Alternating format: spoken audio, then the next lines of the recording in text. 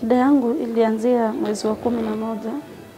Nilikuwa nafua nguo na nikateleza kwa bafu na mguu yangu kwa hip joint ikapata fracture, alafu mgongo diska moja kakaruka, so nikawa na struggle na nikaenda hospitali Kenyatta na nikafanyiwa surgery, nikafanyiwa hip replacement.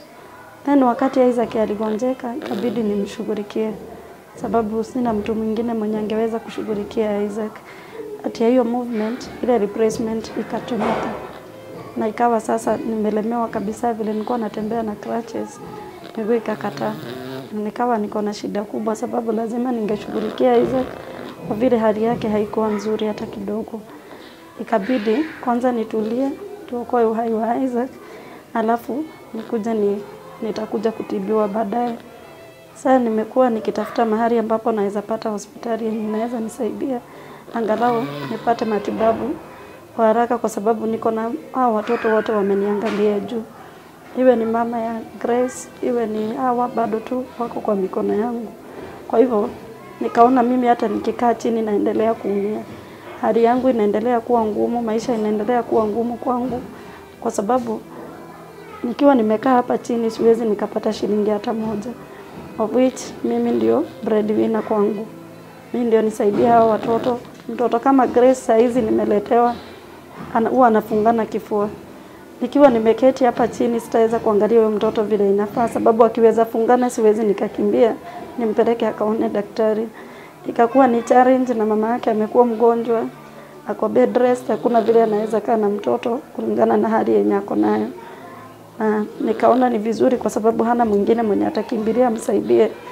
Nikajitolea nikasema nitaweza kukaa na yeye kuliko tupoteze mtoto in the maybe ni njaa ama amepata shida kulingana na vile mama yake yako. Sasa mimi nilikuwa naona ningetibiwa, ningeshukuru sana na niweze kuamka, niweze kushughulikia watoto na familia yangu yote kwa pamoja, kwa sababu inanihitaji kabisa. Familia yangu inanihitaji, watoto wananihitaji wote, hadi Isaac bado anahitaji vitu ambazo zinahitaji pesa, sababu nikiwa nimeketi hapa siwezi nikapata shilingi hata moja. Isaac anahitajika colostomy bag of which saa zingine unatumia tatu kwa siku, of which hizo tatu kwa siku moja ni 560 yenye anatumia, na unaenda unapata, kwa sababu analala na tumbo inatoka, na ikishatoka hauwezi ukairudisha tena, sababu ile wax yenye imeshikilia imeisha.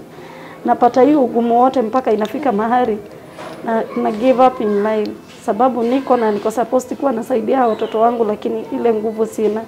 Chakula yenye baby Grace anafaa kupewa ninakosa, na si ati kwa sababu nikiweza kuwa natembea nitashindwa, lakini kulingana na condition yenye niko nayo ninalemewa.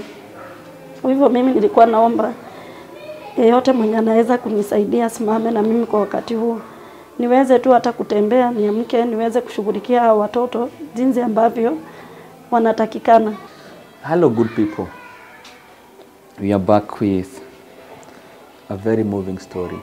And um, three weeks ago, I was here na tuka highlight story ya Isaac na Isaac um, alikuwa na vidonda makalio.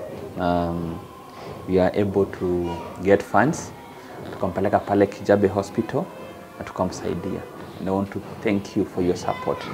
Now Isaac is okay, saizi endelea kupona, nashukuru sana. And when I was here we spoke about um, Isaac and the mom na mama eh, mgongo yake ilileta shida, alianguka kwa bafu na amekuwa mgonjwa. So and what we decided to do is tushughulikie Isaac. Isaac akishatibiwa, sasa tukuje kwa mama Itwa Elizabeth na Elizabeth atatuelezea what happened with her back. Saizi ako kwa wheelchair na ndio amekuwa kila kitu, ndio uh, alikuwa chakula, ndio kila kitu. Nashukuru wenye walijitokeza pia wakalipa rent siku mbili tatu, na mm, saizi kijana ako sawa, tunaendelea kusimama na yeye na uh, tunaendelea kusimama na hii familia. And sasa before hatukupata huyu msichana, huyu mtoto ni wa mtoto wake. Uh, nakumbuka nimekuwa nimekuwa ikitembea sana na huyu mtoto anaitwa baby Grace, na Grace vile alizaliwa alizaliwa na hiyo uvimbe nyuma, na tukampeleka pale Kijabe Hospital, tukang'ang'ana kutoka Kijabe, tukatumwa Tenwek, tukakaa pale kama wiki, na mtoto akapigwa picha akaangaliwa kabisa, na akaambiwa hapa ndio eh, brain iko na kila kitu, na daktari akatuambia kumfanya surgery itakuwa ni kumuua, na wakadecline hiyo surgery, na tukaamua sasa kenye tutafanya, tutatembea na huu mtoto na tuempower familia. Eh, mtu anaitwa Baby Grace. Huyu mtoto huyu ni anti yake because alichukua mama yake akiwa mdogo venye mamake aliaga so eh, na vile tuliona sasa mtoto ata, ata, ata, ata, atafanywa surgery tukempower familia but sasa mtoto huyu msichana amekuwa mgonjwa kwa sasa na ndio kwa maana sasa amemuletea sasa um, Elizabeth akae na yeye so you can imagine ako na huyu mtoto ako na Isaac bado ni mgonjwa na yeye mwenyewe ni mgonjwa. It's a quite, it's a quite sto sad story and when we highlighted this story na watu wengi walimwambia sasa, mam, unafaa sasa ujue shida ni nini. Wengine wakasema alirogwa, nasi tukasema because ni Wakristo tutasimama na yeye because as you can see, kama tungesema Isaac ni kurogwa angetibiwa. Kwa sababu amefanya hiyo surgery, ako sawa Mtu tuliambiwa surgery haiwezi fanyika but bado tunaomba because vile tulienda hospitali alipewa 3 months. Sasa kuna na miaka ngapi? Kuna mwaka na miezi nne. Mwaka na miezi nne. Tulipewa na daktari tukaambiwa huyu mtoto anaishi only 3 months because vile venye hii nini iko hapa, brain yake iko hapa, macho yake, socket za macho ziko hapa, hata. So tukaambiwa kukata hiyo ni kumuua. You can imagine yeah? Like they can do the surgery na wakampea 3 months but you can see now this baby is one year four months that is what god can do but we're not talking about grace baby grace. We're not talking about uh, uh, isaac. Na tunashukuru sana for your support. And may god bless you. May god bless you. Let's continue transforming lives. Now isaac is okay. Baby grace tunamulea kwa sawa.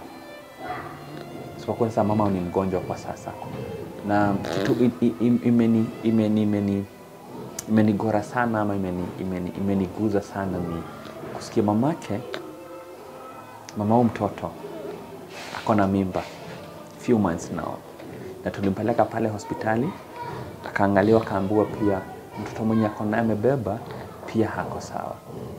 You can imagine as a family what this mama is going through because the girl thought that now if I get the second pregnancy will be better.